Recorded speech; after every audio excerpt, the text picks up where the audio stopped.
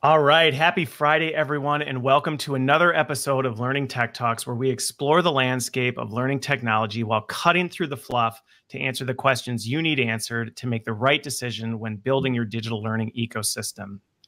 So today I'm joined by Steve Dineen and Rhys Giles from Fuse Universal, and we're talking about using technology to remove barriers to learning instead of creating them. And for those of you who are joining us live, be sure to give us a thumbs up share the post, or tag in someone who would benefit from the conversation. And to get things started, we are not talking about learning technology. You've had 14 minutes to prepare for this. And the question for this week is if you could meet anyone, and the rule was they have to be dead now, they can't be dead post today. Who would it be and why? And we'll start with Steve, who who was asking around, that trying to break all the rules. So I am very curious to hear where you landed. I thought about this deeply, and, and I figure we should own, we should ask the person who's probably the only person that has been asked this question. I, would like to bring back JFK, and I want his opinion on who shot him. Ooh, okay. So curiosity behind the JFK assassination. I like it. I like it. Do you have your theories? I'm curious. Uh, I do, but I'm gonna hold that till the end. Oh, okay. Yeah, there we go. We'll, we'll keep people we'll keep people tuned in for that. All right. How about how about you, Rhys? Well, mine feels pretty boring now that you've just said that, Steve. but uh, a different Steve, actually, Steve Jobs. Um, so you know, really do do look up to everything that he's done. Um, you know, the uh, well, I, I, suppose there's just so many questions that you'd want to ask. And I think everybody on this stream would probably be uh, would think he would be a great dinner guest, right? Okay. Okay. And that's why it worked when Steve recruited you with the Steve Jobs quote. Exactly. Right. Got it. So, so many things, so many things are making sense now. So many things are making sense. yeah, um, so for, yeah. So for those of you watching, go ahead and, and post your your answers to that one in the comments. I think for me, mine is mine would probably change on a day to day basis, but I think it's January, uh, and so this one popped immediately into mind. We just celebrated Martin Luther King Day, and I think what really was inspirational about that and why I'd like to talk to him was. I'm always fascinated by people who have led tremendous change that that was socially unpopular that, that people weren't necessarily always in alignment with and, and what that was like to lead that and the challenges they faced. So that's that's my answer to that one. So thank you for that. Um, you're both joining me from london so your day your day is is almost over but let's get into this. So we're talking about fuse universal. Uh, to, to help set the stage for everybody what is your elevator pitch or description of so what is what is fuse? So so i think i think the way we want to frame that right is is what yeah. change we're trying to bring to the world. Yeah so, yeah and and i think so our Uber focus is recognizing that learning learning technology can play a far bigger role than maybe it has in, in the last 10 15 years. And, i think there's probably two goals that we want to try to make sure that both our technology and, and, and our people drive. And that's how do we really start to use technology now to drive performance in individuals and organizations. So measurable difference um, by the things that we get involved in doing. And, and, second obviously how do we make learning learn technology so attractive that it continues to be a, a, both a, a retention and attraction strategy? So i think everything that we build and everything we think about in terms of our learning ecosystem or the hub of what is fuse and the partners we build is what are the components we need to connect together that can allow different people different audiences to create the experiences that allow us to drive that behavioral and performance change. Okay. Okay. Anything you would add to it, Rhys? Well, maybe what he says. Well, we'll go there. okay. But um, I suppose the only thing I would add to that is that uh, before I joined Fuse, I was a client. And so I've actually seen this on, on the, the client side. And for, for me, the ability to be able to democratize uh, the you know, content creation process and really bring L&D closer to the actual business so that people in the business can actually control some of that learning is such a powerful tool. You know, and then being able to find experts and being able to surface that knowledge, and I'm sure we'll talk more about this later on. You know, it is for me uh, one of the biggest things, the biggest changes we actually made uh, in that company. Okay. So with and this is one where you know I think in our industry as a as a whole, we we historically the LMS has been the cornerstone, if you will, and I think it's taking a, a pretty a lot of heat for for good reason. Uh, and and I know that in a lot of the marketing, the things that I've read about what you do, it's about you know removing those barriers. So what are some of those barriers that you saw or you looked at from a problem statement?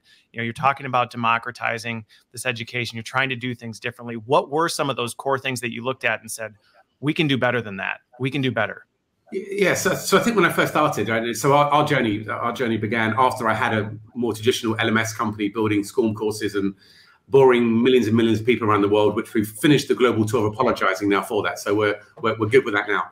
Um, so in, in, this new phase, I guess I was inspired when I tried to do something more meaningful, and I started a you know um, being involved with the charities in Africa um, okay. where we were putting some digital content into schools out there. And you, you, I guess when you see poverty in the, in the way that I saw it in India and Africa for the first time, you, are really driven to say, well, you know, how can we do something? How can our industry do something that's going to make a dent towards that?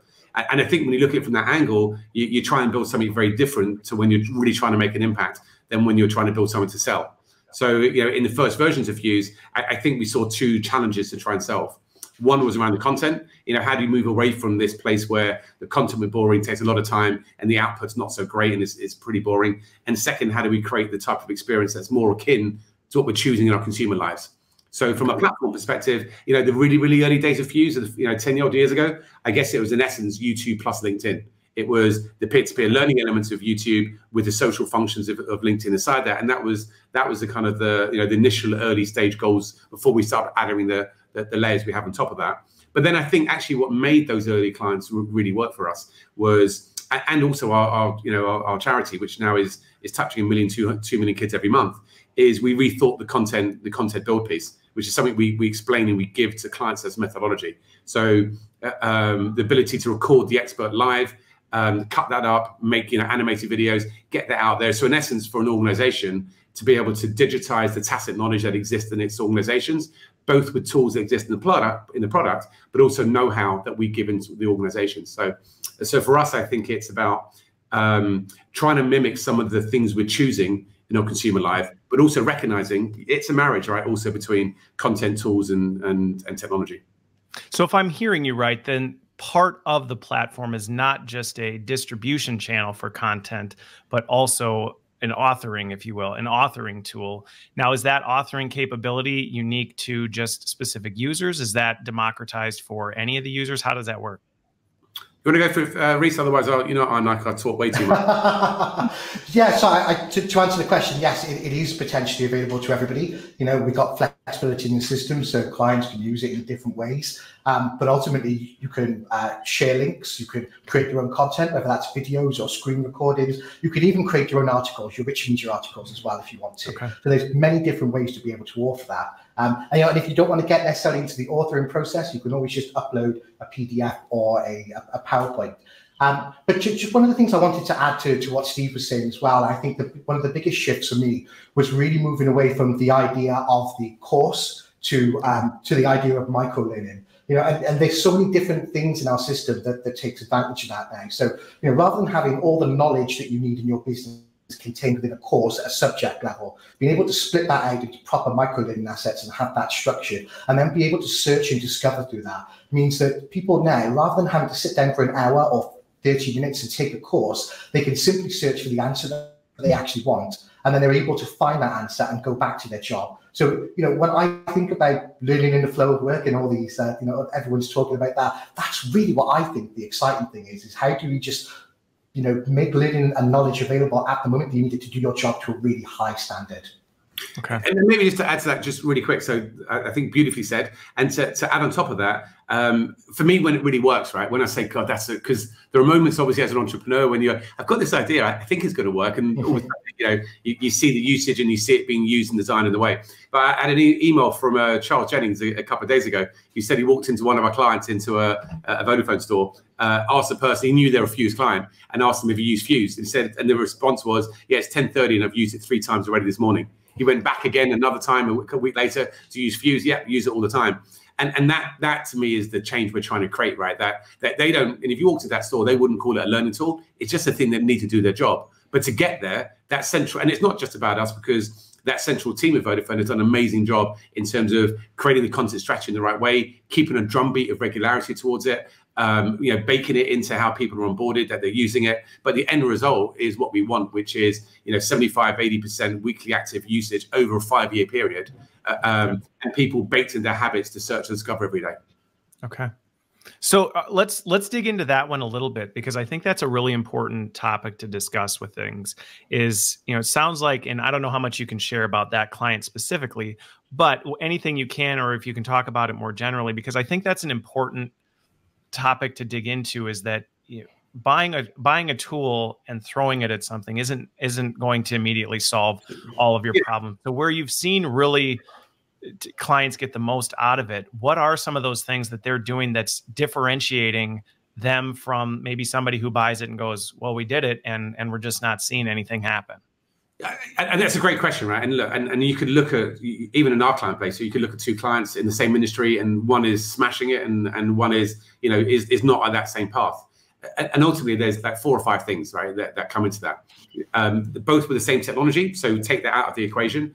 Um, one is the thing you mentioned, the content strategy. If you're building long form content that people are never going to search for after they've consumed it, you're already killing one of the most important elements of modern day learning, which is let me search and find and discover when, when I've forgotten. Back to the example we gave. So that's the one. I, I think two is is then the how do we design for for for learning that's going to be impactful. You know, how do we design for that? So moving away from um, being an order taker from the stakeholder. So the stakeholder historically coming in, I need two courses on sales, I need to train 2,000 people, and the measurement of success is 10,000 people have gone through the, the two courses. Towards actually the, the quality of conversation that learning business partner is going to have with that stakeholder and say, actually, look, what are you trying to achieve here? What's the vision you're trying to get to? What does that feel like? What does that look like? How do we measure that? So it may be, you know, a radical different part towards it, but actually it's about performance or it's about connection to the company, if it's onboarding, you know, there's a there's a different output to that. So once you you change your North Star upon what your measurement looks like, and then you start to design all the things around the content strategy, you know, task-based learning inside that and all those components, um, then I, I, think you you get to the second bucket, which is you're now designing learning that people want to be engaged in because you, are trying to achieve a different outcome and a different output well, different outcome towards that. So I think that's the uh, to get there though. And this is the third bucket. I, I think is around the skill sets of L and D. So you, you can't you can't maintain the same skill sets of 15 years ago and expect people to be able to to change and create those experiences to create the content to have those type of conversations with it. So you know often we get asked we ask the question say well what do we need and what role would we employ? And say actually the first new role is probably a videographer storyteller animator someone that's going to be able to talk to the experts in the business extract out the great explanation and put that back the same day in a way that other people can benefit from. That learning that learning business partner is going to be able to have you know that type of quality conversation. So your skill set piece, your content strategy piece, um, the platform piece, and then obviously data, right? You know, data is going to tell you data analytics. It's kind of critical to be able to look at that to understand that when you are starting to move forward and move the shift, what's working, what's not, what do we do less of, and what do we do more of? Okay, it's well, and that that's a big that's a big answer to that question. And I think that's where it, it, well, but it is, and this is first time I said it. Yeah, and this is a challenge I think we're all working we're all working through right now, right? Is is how do we how do we make that jump? And some of the things that I think are the biggest barriers to it is the mindset shift. I mean, this is a this is a whole different way of thinking for L and D, and I think there's this is, this can create a bit of an identity crisis for the way it's always been done.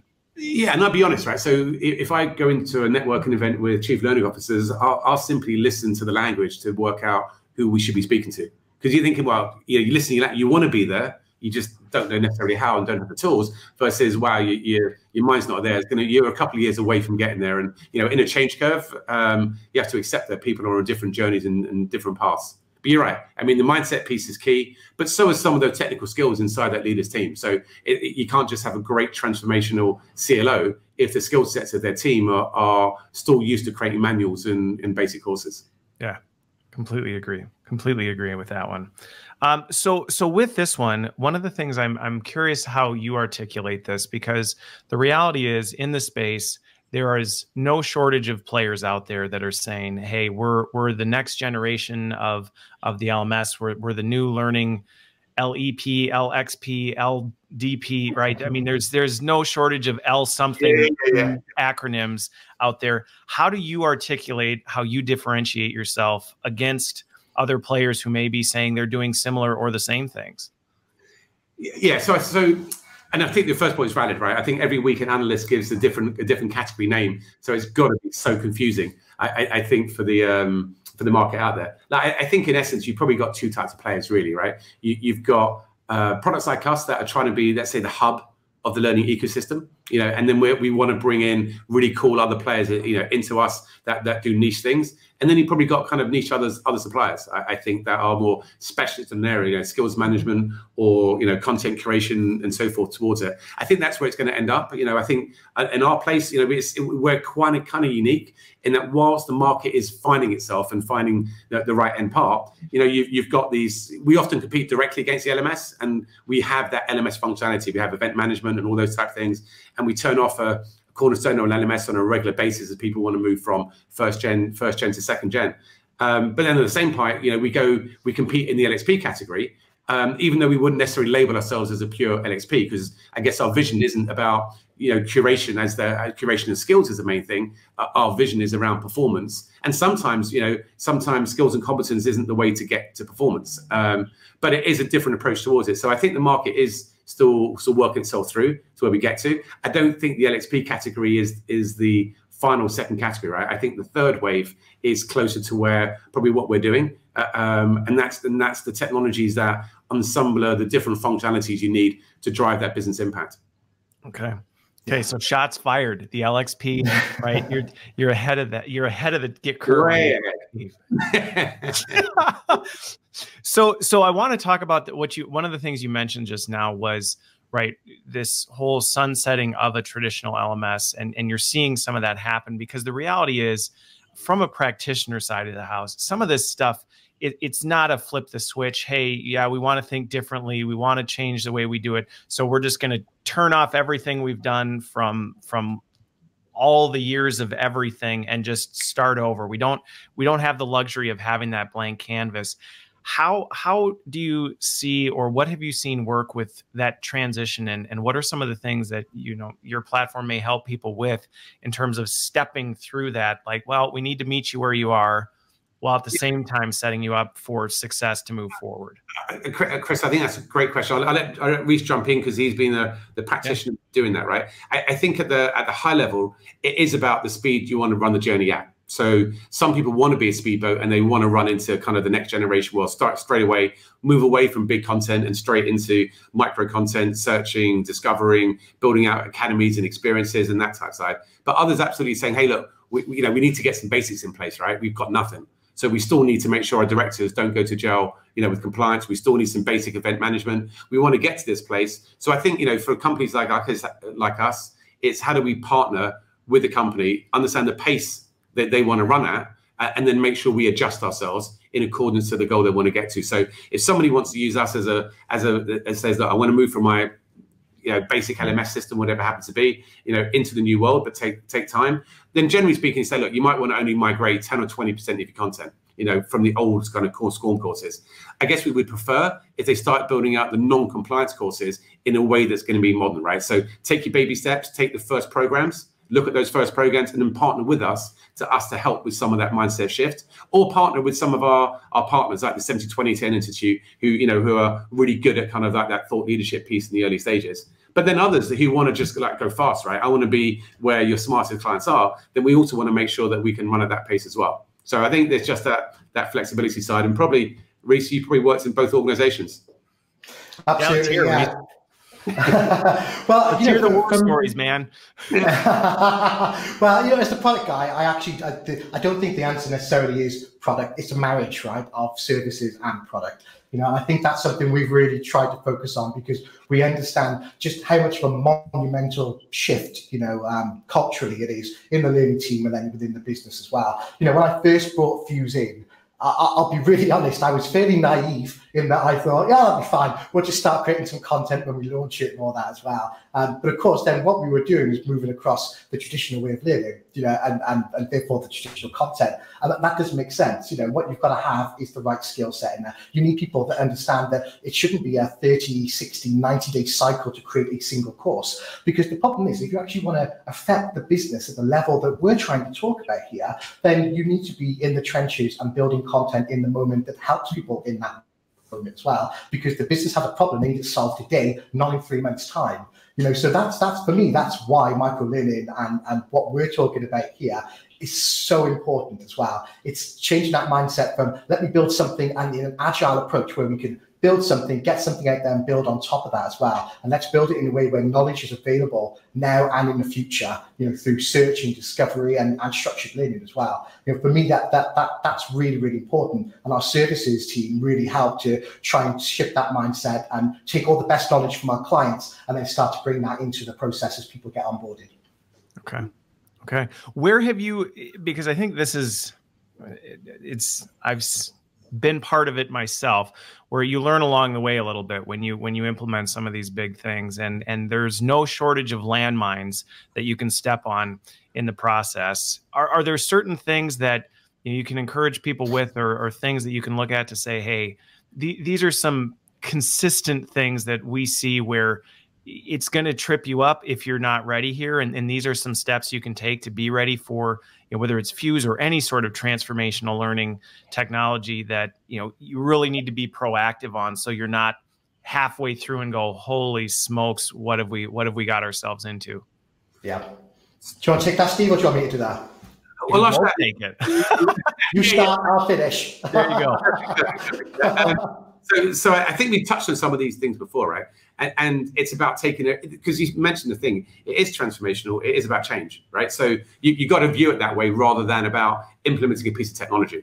Because you, are right you know it doesn't matter who you do it's us or someone else and you know you know we obviously we we've got an opinion about fuse and we've seen it being being transformational in many of our clients. But as you said sometimes it, it hasn't been inside there right? And then you know recently it's been interesting to go and talk to some of those clients and, and they've got the will and desire but it's the know-how so, you know, sometimes it comes down to, hey, look, you know, I, I, buy this, but I don't know how to create content other than a school course, right? So yeah. I need some help with that. If you're not, if I don't get the help from that, then I'm not going to be able to move into that world. So I think that, you know, that piece is critical. I, I think the, how you talk to the business stakeholders is, is critical too. So if you've got the same, if it's the same old language of let me accept uh, orders and the building of courses towards it, and it's a 12 week program to build my course, then I distribute it, then then no technology is really going to help, right? Which is a shinier front end towards it. So so I think that transformation is the same for L and D as it is for any other organization going through digital disruption. You've got to view, okay, how do we how do we go on that journey ourselves? How do we get the whole of, of the L and D team um, to upskill themselves, to think differently. Um, and, and that's not just about the relationship us, but it's also probably being part of a community. So one of the things we're really, really big on is um, getting our clients together, both virtually and physically together, to learn from each other, because you know we're learning from them as much as they're as they're learning from us. Um, recently, what we're doing now is we're just starting our own Fuse Academy, which is just trying to digitize the best practice from from our customers and why they're getting it right, so that other people can copy them, replicate them, and ask them. So I think, yeah, um, Rhys, to you. well, um, I, I, suppose there's a, a, couple of things for me. You know, I, I think sometimes the elephant in the room is that the L&D team are not the experts, right? You know, they, they, they don't have all the answers as well. And so to put it on them to have to create a course um, that then is going to transform the business isn't always the right thing. And that, that really, the, the partnership that Steve was talking about there, you know, it, it, it's so crucial. Um, I, I think that, that that really starts to get that change going. However, let me give you a practical answer as yeah. well. You know, so uh, so for me, um, one of the things that I think that works really well in clients is to start small. You know, so rather than try and boil the ocean and have every bit of content in there, and you know, and, and try and build all of that in you know two three months, actually take a learning program do what we've just talked about. Start from the actual business outcome that you want to achieve within that particular program. Because the great thing is, there's always sponsors at an exact level that, you know, if you find the right program that are really interested in the outcomes of this, and it helps you to start by a place and a seat at the table so that you can start to make that transformational change. You know, if your core business is around sales and you've got a sales enablement program or something like that, then being able to take that, digitize that, make that available to everybody, be able to measure the impact as well, and even potentially put the business data over the top of that to show how people are actually performing after they've taken the learning really helps to accelerate. I think if you can do that, then you can start to repeat and then it rolls out and it can scale from there because you'll get more buy-in, more resources, you know, and more yeah. time, and and you know, and then you're not an order taker anymore. Suddenly, you're telling people this is the best way to solve this business issue, rather than yes, we've got a problem with you know compliance and we need to roll out this data security of course. Maybe just to add to that, I, and I think that's brilliant. I think it's perfect in what Rhys says, and I, I think um, I, I, think to, to, add to that, I, think if I look at some of the clients that really have gone on for years and years and years to maintain success in, in what they're doing, they all started with what we said. They always started with one program, be it something like onboarding, where the goal was time to competence, or sales, where it said actually how can we prove you know the the an average transaction sale that that's gone higher, but to really laser focus in. And in that first program, you get to live the new experience of digital, right? So you get to you, you get to gain some of the experience inside it, rather than maybe um, and this is where I think you know it kind of goes wrong sometimes. Other people thinking, you know, I've got an LMS and I haven't got much engagement. I tell you what I do as I'll, I'll go and buy uh, a library of content. That will solve my engagement problem. Yeah. Wow, I'm still not getting the I'm still not getting the, the engagement level towards it. I know what I do. I buy a tool that's going to curate all the content on top of that, and we're going to move around all the shitty content to different people to get to the right places. And, and then they're still surprised that the engagement levels aren't there. I think this move to more programmatic approach, right? Saying what's the big learning intervention that's happening, which is majority still face to face how do we how do we rethink every new version of that? So we're and thinking about how the L and D team and the training team are involved. And one of the biggest things actually re- recently we've seen a lot of our clients really see the difference in is as their trainers move from being purely classroom trainers to really accept and role in the digital way. So that they are online coaches, digital coaches. They're being trained, retrained themselves to be digitally socially savvy. And you know, there's a company in the UK, uh, I think a training company, one of our partners, and they, as they've changed that role of their apprenticeship coach, they've got 400% engagement you know, on the platform for apprentices, which are staying longer in the programs and achieving their, their goals because of that relationship. Um, so I think, yeah, I think there's there's there's lots of great war stories I, I think to share there. well, and and you hit on something that I, I, we talked about it a little bit earlier, which is spot on. It's a bit of an identity crisis for L and D professionals when you look at it. But the reality is, when you dig into the things, it's not that the role we play is disappearing it's that it's changing the way we execute against that. So just like you said instead of being a training specialist who's facilitating a class it's not that that skill set is no longer relevant it's that the exercising of those skills is is looking very different. And it's about kind of saying well okay now how do i execute against that different way of doing the thing that i'm really good at or talented at versus saying well i'm no longer relevant i don't have a place here. And i think that can be helpful in that well, you know, I, I think part of that as well is um, the, the reality that, that, today, if you want to be really great in learning, you, you have to be uh, omni-channel. You know, so it's not about doing something in the classroom and then doing something that's digital. It's actually how do you combine those things and how do you make the right program at the right time? You know, I, I think sometimes we forget that and then we go, let's push people to the LMS or push people to this platform. You've got to get them there. They'll go there actually if there is a reason for them to go there right. as well. But you've got to give them that in the first place. And you know, good learning programs that show um, that give them the knowledge they need and actually demonstrate that there's value because everyone's time is precious. It doesn't matter whether you're a CEO, you know, or you cell phones on the shop floor. Your time is really precious, and you've all got yeah. targets to the hit, and so you need a reason to go there. So, so with this one, because this is this is where we're talking about all these different mindset shifts, and another one we've we've touched on that I'm curious your take. I've got a very distinct opinion on this one, but is you you hit on the fact that this letting go of the fact that we aren't necessarily always the ones that everything has to channel through, right? We're, we're almost kind of empowering empowering the organization saying no i'm not necessarily the subject matter expert i don't have to be the function that creates all the content for the organization because the reality is we can't eh, eh, with the timeline i mean it's just it's operationally just not possible but that is a comfort with letting go of kind of being the owner of that. Now, at the same time, and this is all about the balance piece, I've been involved and seen it firsthand where things swing way too far the other way. And I think it's one of the dangers of some of these rapid authoring tools where people are just have no guidance from learning and development and they're creating terrible stuff, but they can create it so easily now that they're just churning out garbage and it's like well now you just have a digital landfill. So how do you balance that or what's your take on how you balance that so that you're you're creating quality stuff you're empowering the organization to do it but that it's not getting out of hand or what what is that balancing act look like for you So, so, I think I think there's a couple of tips that, that we've seen, right? So again, what, what some of our clients do, and I think it's a, it's a great idea. So on the user generator side, because obviously in our platform, you can press the record button, make a screencast, and have some basic editing thing, and you can make some really awful videos, right? So you could be monotone, and you can be 20 minutes long, uh, uh, and you can have some animated gifs that really. You cannot have a lamp with a pillowcase, right? They're, they're, talking about me, guys. They're talking about me. oh, uh, um, we can little make a bite-sized video for next time to make sure the rest of people learn. Uh, yeah.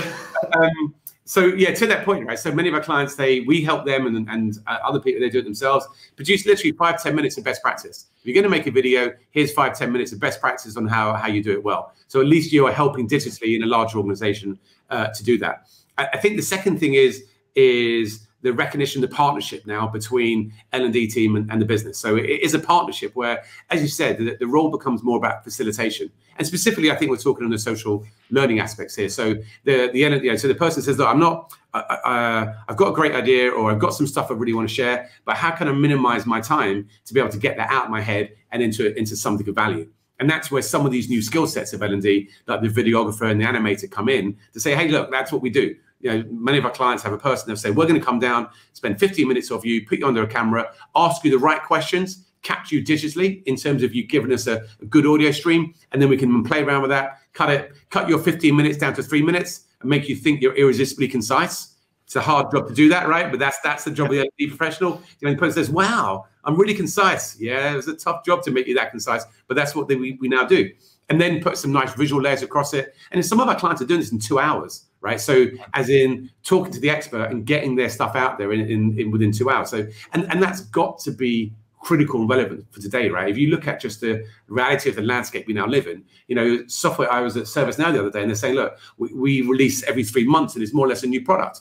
Imagine all of the people in that ecosystem need to learn that stuff every three months. You've got, you know, beauty manufacturers um, releasing new products every three months in their campaigns, every three weeks in their campaign software manufacturer, you know, software car manufacturer like Tesla doing upgrades to the software in the cars that makes it work differently every six weeks. So the old model of let me spend 12 weeks creating a course to get stuff out there, it is it's just irrelevant in a world where corporate knowledge is doubling every 12 months and the human yeah. knowledge is doubling every 12 hours, right? So it has to be done in these ways. And yeah, and the final point to the point there is therefore the role of L&D to be more, how do I help you do that? But also how do we give you tools, but also help you use those tools, I think are critical. Sorry, absolutely. No, I was just to just to add to that. You know, there, there is flexibility within the platform to to help to try and alleviate some of these issues as well. You know, but but before I touch on that, I think what you know.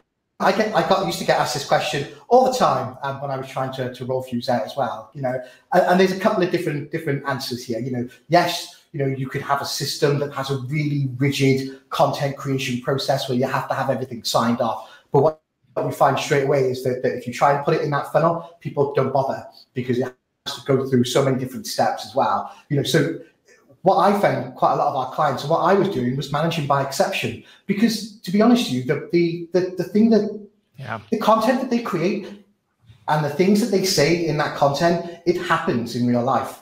They're just digitizing it. So yep. it's not it's not like saying, you know, make these videos, suddenly that doesn't happen in the business. But at least by digitizing it and getting in front of the right people, people can also challenge that and help to educate those people as well. You know, I, I think for me that that's that's such a, a, a important point. We, we, think if we hide it, then it goes away, and it, it doesn't. Well, and what I've seen, what I've seen, and I, I agree with you on that for for two reasons. One, it, I've found when I've done user generated content, when people are engaging with it, your users actually do a better job of policing and managing that stuff than you can ever do through traditional compliance means. If, if things go out that are incorrect, people are all over it. They're, they, you know, they're you're you're actually leveraging the power of the network to actually curate the you know bring the right things uh, into light and bring the wrong things out.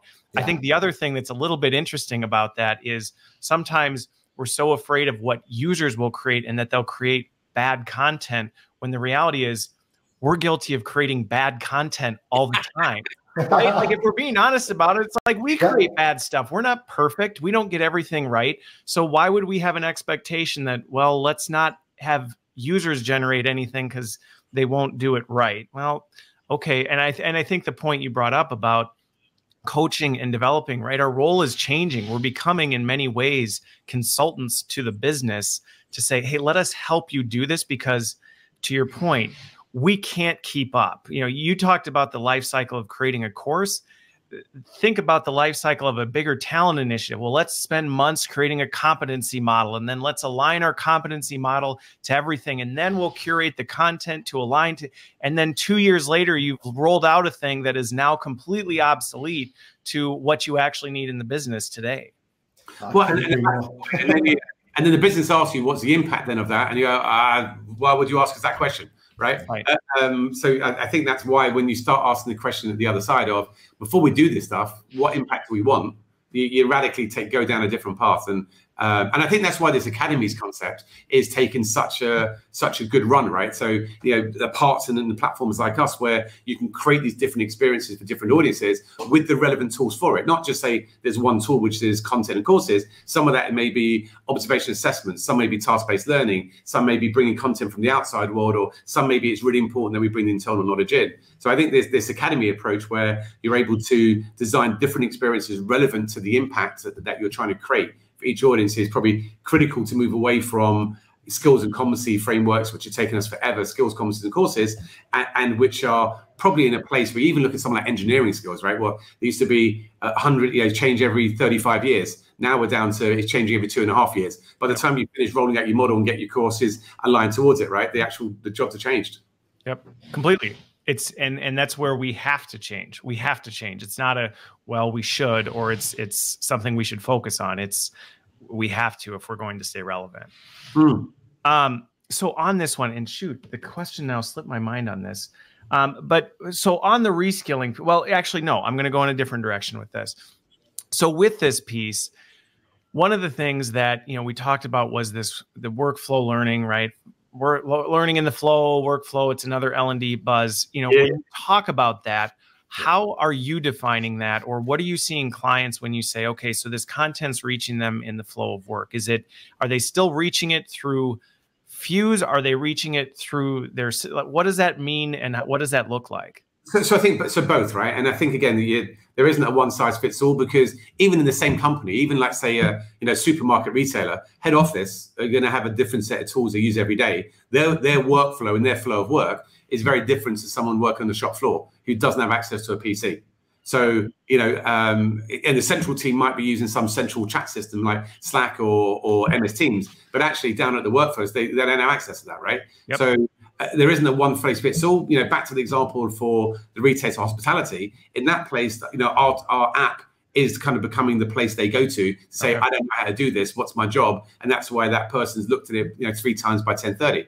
In a desktop-based environment, that's much less likely. You have to accept the fact that your your platform is probably not going to be the place they go to open up and log in. So that you have to make sure that your technology is going to be able to be surfaced where they're going to be in, in multitude of ways. Sometimes it's just um, if someone's using Workday as an HR system, then it's it's surfacing the content in the right places. Same as in Salesforce, the ability to search in Salesforce and, and it bring in uh, the, the content is relevant. So both browsing and, and search is kind of key. So I think again, you've got to look at the landscape and, and even the landscape for mobile first companies. You know, we someone like Avon for us, which is you know five million learners across the world. You know, they had their main company app, and we're deep linked into that app. So you know when you're getting to one pass towards it, it's easy to jump out and have that that connection between between two pieces. So you've got to take, I think, the experience of what learning's trying to do and plug it into those different places. And maybe the final point is, but you're still back to that content piece, right? That if you're still building, and this is where I think you know some of the other guys get it wrong here, right? That if you're still believing that people are going to be, you know, doing learning the flow of work to access a course, then that's just crazy right? It's just the same as like discovery on the way home. You don't go home and think, what course should I sign up for tonight? It yeah. might happen once or twice a year. And the same as people don't in their jobs think, oh, I want to get back to that thing that was in the course and let me browse through my course to get to it. That habit is, is not going to work. So I think you've got to go back and say, what are the new habits we want to we want to plug into?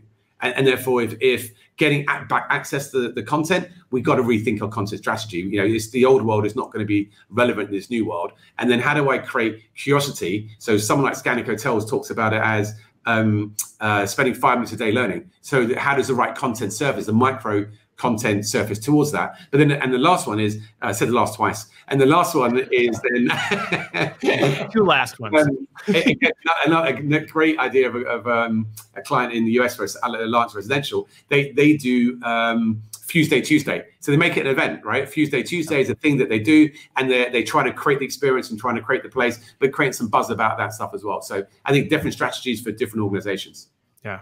Well, and, and every organization's culture is is going to be a little bit different. So there isn't a you know top ten ways to make this effective in your organization because your organization has its own nuances.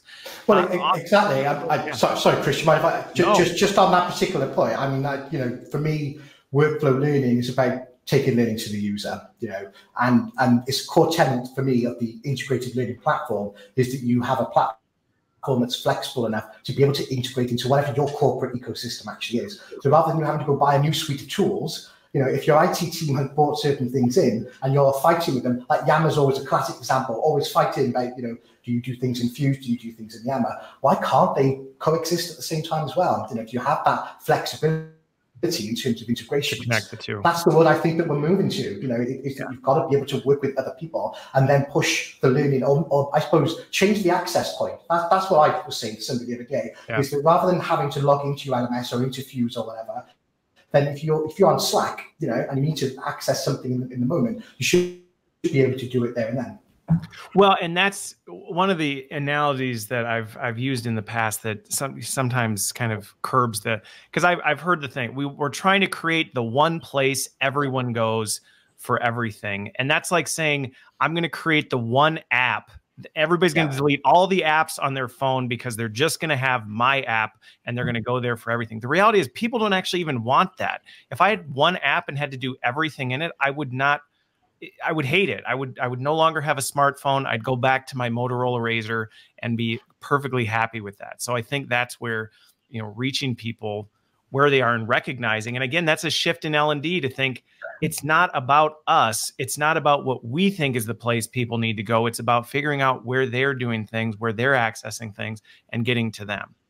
Absolutely. And, and to add to that, I need to combine a, a, couple of points there, right? So I think again, I'm slightly back to that that content piece. If that mindset is we're building courses, you're never going to create the habit that, that we need, right? So for us, I think the last couple of years, so because of the Fuse School piece, where we digitized the chemistry and physics and maths curriculums into you know 250 individual videos and concepts that people are searching on YouTube, and that's how the kids are accessing it. And that's why the million, two million kids a month are accessing it, saying, "What's an atom?" They're not going back to the chemistry or, bi or biology course, and therefore I think where does the innovation come for industry? It's got to say, look, that's what people expect. So, you know, our level, uh, the, the, the stuff that we're now doing, building out the next year, is to go that ne next level down. So now with Google, if you search on where does a blue and red wire go in a plug, you don't expect to find the content, you expect to find the answer.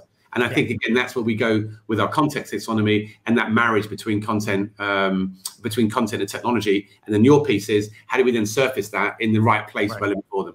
Right. Because if you're just using it, an example, I was talking with Raj from WalkMe last week, and we were talking about, you know, what WalkMe does. And, and I've seen firsthand an example where someone used a performance support tool like that, and all it did was push the e-learning courses from the LMS to people. And it's like, that's, that's, you, you're, you're just not thinking about it the right way. Yeah. Yeah. So on this topic, going back to, to measurement and impact, you know, Chris Casement brought up a good point in the comments, and I think we're, we're getting towards that. And I'd love to hear what you're seeing with some of these organizations, because what we're talking about is more than just, hey, this is neat for L&D. But when you think about the fact that the need for people to have new knowledge and skills faster than they ever have before and the old way of doing it waiting months sometimes years to be able to actually deliver on that that's not just about improving the user experience from an L&D standpoint. That's that's bottom line going to hit you know results in a in a business you're you're going to see differences in that what are you seeing with some of the folks who are really getting this right you know and how that's making a difference not only in the business but even in the reputation or the perception of l&d yeah, so I, th- I, think the I think so. I think the first thing, the first, it's it's a simple thing, right? But it's a huge difference. The first thing is is thinking about that measurement before you start, yep. not you know middle or end right a lot of the time the question is asked at the end of it to say what's the impact right which is uh, it means you probably haven't thought about it in the whole design process for us that's the first thing right once you're crystal clear on what the vision uh, um, that you're trying to create for this learning program, whatever happens to be a sales program or, or a, um, a customer care program or a leadership program. What's what's the impact, right? What's the impact we're trying to create? What's the problem we're solving? And then, okay, well, how are we going to measure that, right? So if we could shift the dial, so you know, certain things are easier. Sales is probably the easiest because you can point to anyone in the sales room and say that person's 17% better than that person over there. So sales is easiest, but you know, anything services led has NPS scores and things towards it. So, you know, on those programs, you know, you might you may look, for example, what some clients look at time to payback. You know, it's an interesting one. So, you know, if you're measuring what time to pay was before, uh, it might be on, you know, when people are on board, it might take six months, and actually we want to get this down to three months. How do we measure that um, in terms of that that paying back? It could be the delta of difference. So the delta difference is what's the high performers um, uh, achieving in terms of their KPIs. So what are they converting sales at? What are they achieving NPS at? What are they doing there? What's the median look like in the organization? Okay, so we can close that gap. If we invest in this thing and design a, a learning performance experience that we think is going to close that, how much we think we can close it by? Obviously, the first one you do is going to be more assumptive. The more you do, you start using data to say, well, we can look back historically and know, you know, it is interesting, right? It's interesting. There's a, the data stat that comes out continuously. We look at some of this stuff in the sales, uh, the sales part, and when we do the basic of, let's say, bottling the greatness of the best people and giving that knowledge to people and giving the ability to get back to it. Generally speaking, it's funny, right? Because it's still kind of event based. And what you see is an increase about 30% in the KPIs, which is amazing. But then actually, because you still got that kind of forgetting curve type stuff, it ends up over the period of months, you know, getting down to about 10%. Obviously, if you design it more as a holistic learning experience, then you can put more interventions in the social learning part, the repetition part towards it, um, observations, coaching, uh, task-based learning activities, in order to say, actually, we think we can maintain that 30% and increase it with a bunch of other stuff. So as a quick summary, the, the first thing is thinking of, of, that measurement in advance. Yeah. Second, the second thing is then where does that data come from? So you probably need two data sets. You need a business data set, and whoever owns that needs to be your partner for it and then obviously your assumptions you're going to take out of your learning data, which may be things like including how many times people are going to search for stuff, or how much what's engagement look like, and have people understood it? Have have they completed the tasks that go with the digital things along, alongside that? And then obviously the correlation piece. A lot of our clients today are still doing the correlation piece outside of our platform. So they're putting it into a Tableau or the main kind of, you know, um, data. Pull that data out of the system, then combine. Yeah. So yeah. we, we we push that, you know, via either, you know, APIs or other types of things. But that's where the correlation happens. Once you've got the levers, then we say, okay, great. Now we can create the dashboards on our learning platform and we can look out for the levers. We know the big lever might be actually when we coach people want to understand it, God, that's that's the thing that really turns it from 10% to 40%. So I think you get the correlation today. You know, in the future, we'll probably do the correlation inside. Right now, it's kind of normal that correlation happens outside, but then that allows you to build your dashboards in our product because then you're saying, now we know we know what levers to look out for. And then fine-tuning them with um, you know occasional correlations. Well, and it's it's funny. Uh, uh, I think it was maybe a week and a half ago. Kevin Yates and I were talking about this on here about measurement, and it's it's always been interesting to me because people are they've always struggled with the measurement piece, and to me, the missing component has always been well, you have to start with what you're trying to do first and define that stuff. Then measurement's really easy because you can start to say, well, if this is what we're trying to do, I think too often we do the thing and then we look back and go, well, what was the impact? And you're like, well, that that makes it near impossible and nothing more than a, a best guess. Yeah, and I think it's also painful too, right? Because yeah. you know, so many companies I've seen do that on mass, and they look at their data, and, and it comes out most of the time as zero. Right. right. Because sometimes it has negative impact. You're taking people and you're putting people through a five day course um, and out of their work when actually they just need maybe 10, 15 minutes or something. Yep. So, you know, when you when you you're not thinking about it, you make some horrendous choices. When your North Star is that that business impact and that measurement piece. I mean, and I loved, you know, I loved um, one of our clients, Hilti, when they, they asked that question. They said, "Look, we've got the payback time to six months, but because the question was, well, what can we do to get to three months? That's a that's a question because the North Star was six months. If it was the output was how many people can we get more another ten thousand people through the course, they would never ask that question. And therefore, the things they were able to experiment with and trial, yep. they can see did that make a difference or not. So yeah. Yep. Well, no, in a case study, and this is where getting into that data and figuring out what are the actual behaviors that are driving those performance impacts are huge because once you can actually identify, and you can't get that from completions, you just can't because you don't really know what's happening with that. You know, I think of a good example. I can't remember what company it was, but it was a shoe company, and they discovered that simply asking parents when they came in, "Can I measure your child's feet?" had dramatic impact on sales of shoes because that was the challenge. But if all you know is we just need to get more people in the door, did we have more? You don't know. You don't know whether or not you're actually changing the right things. But then you can simply measure that. Right? You can then say, "Okay, what if?" Yeah. You know, could we measure if we gave the same thing? We heard one in the telecommunication company. They were looking at one individual in a, in a place and said his sales of, of broadband, which is what they were trying to push, was through the roof. So they went down there and they asked them and said, "Well, you know, they, they saw this guy walking around the, with a broadband box, and they and they said to him, "Why are you walking around the broadband box?" Oh, we sell broadband now. Can I tell you about it? I mean, simple and genius, right? yeah. But then, when you say, okay, well, what would happen if we gave, let's say, 20% of the organization, you know, they understood that, just understood it, not even embedding it, but understood it, what would happen? You can measure that, right? And yep. all the data exists in the business to, to go do that.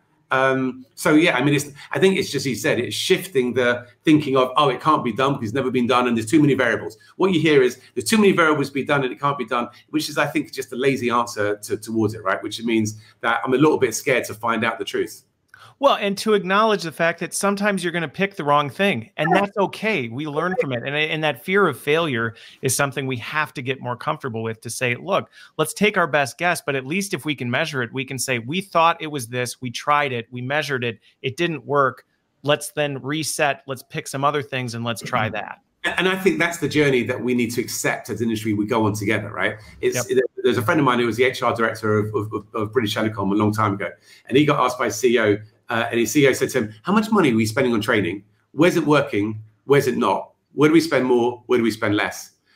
Everyone should, should we should be able to get to a place to answer that question beautifully, right? And I think we're we do have the technology know-how to be able to do that. At the time, I said, "What are you going to do?" "I've got no idea." you know, I've got you know, brought in a bunch of consultants for a couple of months and came out and he says, "Look, we know how much we're spending now. We have no idea where it's working, where it's not, other than in, intrinsically." And he yeah. probably went back to that company. They probably say that you know they probably say a similar thing today. But there are companies out there that are saying, "Look, we're not not only going to measure everything. If we don't believe at the beginning of a program we can't make an impact, we're going to tell our stakeholders no point doing it." If we don't think we can dial it, why, why would you do that? Better to invest in an area where we do think we can make an impact. Yeah. Well, and you know, is, one of the one of the, um, the, the, the problems with this area as well is the is the end you know the, the entry barrier into this. You know, in a lot of cases, L and D teams don't have data scientists that can sit there and, and do anything complex. So that's why we end up doing completions and page views and all that kind of stuff. Is because that's all we can manage in Excel. You know, so I think the great thing is, is that we're, we're on that journey at the moment where we're trying to build a set of tools that, that democratizes data and allows you then to create really great, beautiful insights that you can really start to ask all the great stuff that Steve was just talking about within the tool. And then if you want to take it out and correlate it with business data or eventually bring it in and then correlate it in the actual tool itself. And for me, that's that's where that that's where the, the gold dust happens, right? When you can right. do it yourselves. Well, and this goes back to the whole thing we've been saying from the beginning it starts at the beginning because if you're still building SCORM courses that only give you completion data, you can hire all the data scientists that you want to look at your completion data and throw it in a nice visual dashboard. But at the end of the day, you're still just going to know we had this many people finish the course, this many people passed or failed the test. The ones who passed probably just hammered through the quiz enough times until they memorized the answers. So it really doesn't tell us much of anything. I can't believe you used democratized the data. I love that, and I can't steal it now because you did it live on air. I keep keeping keeping them all for this. Just quote me on it. It's fine. It's fine. Um, so we're we're. I told you we were going to come out. We were going to come to the end, and we were still going to have. We could keep going for much longer, I'm sure. But one of the things that I do want to do, I know that we you you have some of this stuff pulled up, Rhys. I, am sure there are people out there they're hearing this conversation saying, "Great stuff! I, I love what's going on." Based on the comments, right? People are, are, chiming in, but I think one of the things even myself is curious about is what does some of this stuff look like? You know, what what does it actually look like? And we don't need to do a full blown demo, but you know, let's hit on some of those big things so that people can get a feel for the user experience. Um, and and I know you've I know you've got it prepped and ready to go, and, and I can pull that up when you're ready. Great. Okay. Well, let's do that now then. Um, so, uh, just let me know when you can uh, you can see the screen. All right. we're here. Great. Okay. Well, welcome to Fuse, first of all. Um, but, but, before I, I, dive into this particular bit here, I just wanted to talk a little bit about a really important point, and that is around creating beautiful learning experiences. You know, so if I just show you some examples of, you know, this is our one of our internal instances. You know, but you've got client instances where you are able to add a, a beautiful okay. amount of flexibility into it as well and really build an experience that services the right knowledge and the right um, call to actions that, they, that people actually need to be able to do their job more effectively as well you know. So i just keep showing you so you know yeah so just looking at this it has the capability to do more of that really customizing it to your organization versus the it's out of the box. This is it looks the same regardless of who you are well, here's the kicker, right? So that this is one view of what you see, yep. but actually you can do this on an audience basis. Okay. So rather than it, it being purely so around not even a one, company, one for the whole enterprise.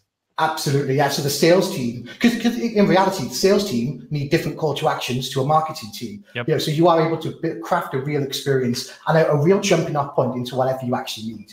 Um, so, so, you can do that across the, across the site. You can have it as hierarchy and team based, or you can have it, you know, role based. For you know, if you have um, lots of similar roles like sales consultants, you could have a screen for them, and you can even just do it customized based on on your own data. You know, whatever other data point you might have when you bring in the system, you might want to create an audience from that as well. Okay. So, uh, one of the things I really wanted to touch on as well, we talked a lot about social earlier yeah. on, and um, you know, for me, communities is a core part of, of Fuse and how um, and how we segment and create unique experiences for everybody. You know, so I've, I've just logged just logged into our customer success community. This is available for all of our, our clients. Um, but the idea behind communities is, is that you can, this is a place for content, but it's also a place for people and you can mix and match. So you could be a member of multiple different communities. You then have access to multiple different um, items of content. And then rather than having to do that laborious LMS thing of, you know, having to create a catalog and then create categories and all this other kind of stuff, you can get on actually with the, with the, you know, the, the job that the actually you're paid for and it really brings value to the business. You can simply make the right content available to people via community access as well. So it, you know, for us, from the admin perspective as well, that, that's also a huge thing. One of the things that I love, and I was able to scale up this really quickly across a 45,000 people business. Um, yeah. You know, so that, that that's that's another kind of area to just to talk about. And you can see here we've got things like recommendations widgets and you know your learning plans are over here as well. And you're able to cycle through those and, and all that's really good. But you know, we, we, we hit a couple of times on being able to search and discover and get access to knowledge in the moment that you actually need it as well. You know, so uh, search for us is a, a, core tenet of how you can get into that. We do have structure, and I'll come on to that in a second. But for me, it's about how do I jump in and how do I find the answer that I need to be able to do my job. You know, and then if I've got time at some point and I want to learn more, then I still have the ability to structure. So okay. I'm just going to search for, you know, Universal Analytics, one of our the, the tool we're going to show you at the end. So this is the bit that I was kind of um, uh, touching upon when we talked about data just then. You know, so uh, you can jump into a learning plan on Universal Analytics in the system. So you know, this is where you do get that structure. But search okay. really is is that kind of simple ability. Yeah, it's looking a little more traditional in terms of right the way it's laid out. Absolutely, yeah. And, uh, Exactly, and, and the way that we work is, you know, tagging, and there's some intelligent algorithms that look um, at the the title description, but also, you know, in, in, we're looking at um, transcriptions and, and translations and all that kind of good stuff as well to make it even more intelligent. You know, search for us is a, a, you know really big this year. Um, but in terms of the learning plan, then, so you, have got your, your traditional structure. It's nice, easy. You know, you can just get back to where you actually were. If you've dropped out of a learning plan, you want to come back in. You haven't got to find. You can just click continue. So I've got to ask because I'm seeing this, and we've only got a yeah. couple minutes, but I'm I'm seeing this, and I'm very curious. So you've got the social connections in with it down at the bottom. So I see LinkedIn, Facebook, Twitter. Are you seeing Are you seeing people actually leveraging? Right? Do people do people really connect in with their their external kind of personal stuff in addition to this? Uh, yeah, I mean, you know, in, insofar that you know on LinkedIn, people will take articles that are on LinkedIn okay. and make them available and expose that knowledge within okay. Fuse. You That's can really, really easily do that. You know, and actually, I'll, I'll, show you that next. You know, so you know, when you log into the learning plan, you know, this is a key part as well. This is the idea of micro learning. So rather than universal analytics being that course, you know, it really is about just how do you break down into that micro asset. So if I just want to know how to access it, I can just type how do I access it, and I can find this piece of content. You know? Got it. And then talking about what, what, going back to what you just mentioned there, you know, content creation for us is also key. So here you can ask a question again, you know, purely around knowledge and focusing on that. You can put a link into the system. You can create an article. Okay. You know, that, so that link could be anything. content. Exactly, yeah. You know, uh, or it could be you know links into third-party um, content providers as well. If you just want to curate a few things and not bring the whole thing in, okay. then you could just focus on bringing those URLs in, and then SSO does all the rest of the stuff. Got it.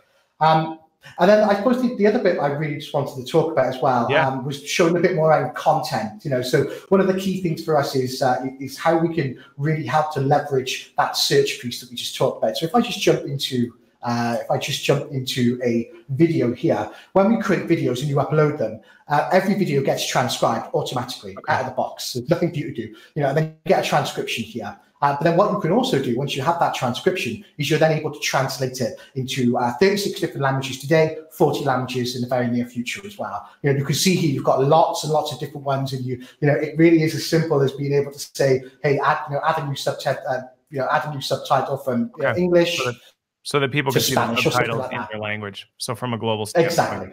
Got it. Exactly. And then it's, it's one piece of content that you have to manage then, because then what you can do with universal content, that, that's our main basically language version, is you can make it available in the language that they want. You know, so if it's a video, you could upload an English and a German and an Italian version. And then if I have Italian set as my default language, I just see the Italian version. It. It's just really it's simple. It you know, it's exactly.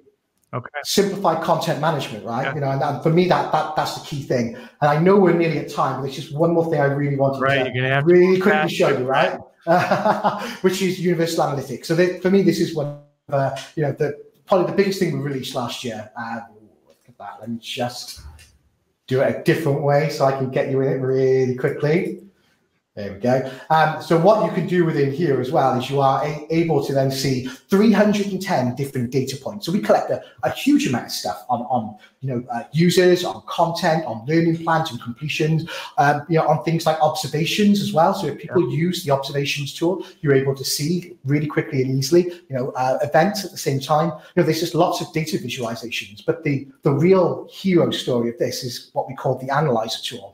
So we built all those insights, but what you can actually do here is create your own insight. You have access to all those 310 different data points, and, and you, are able to build anything build and, and, kind of customize and pull those pieces together into what's really relevant to you and your business. Exactly. You know, and if a stakeholder or you know a board member asks you a question, you, are likely able to go in here and build a story because that's effectively what you're doing. You're creating an insight which is showing you. Yeah, exactly. Got it. Know. So that, that was the really, really super short. That was the, hey, I, I know we, we got to move fast, but hey, yeah, yeah. That, that at least helps contextualize some of the things that we've been talking about and you know what does it actually mean to do some of these things and what does that look like as a as a back end user and also a front end user so this has been I, I really appreciate the time this has been great to one have this conversation to talk about these things and the chance to get to know Fuse and uh, and both of you a little bit better. So I know you, Steve, you have a, a very important birthday to get to tonight. I do not want to be the person that prevents that from happening and getting you in trouble. Um, so, yeah. So so thank you for the time. Uh, thanks for being here. Thanks everybody for watching. Hopefully this got your questions answered. And if not, right, we know there's more. Feel free to to comment, tag, you know, ask additional questions, and and we will get those answered for you. So thanks everybody, and have a great weekend.